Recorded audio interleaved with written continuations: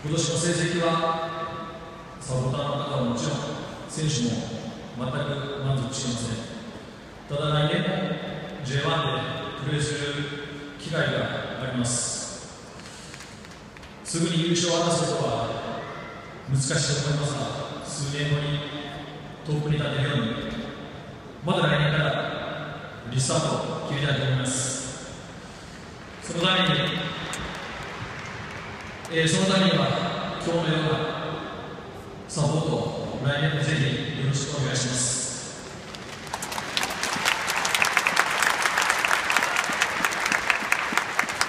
えー、今年1年間本当にありがとうございます